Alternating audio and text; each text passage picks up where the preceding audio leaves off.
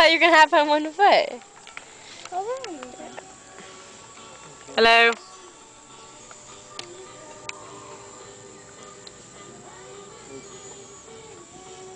Grandma, doing? And we're done.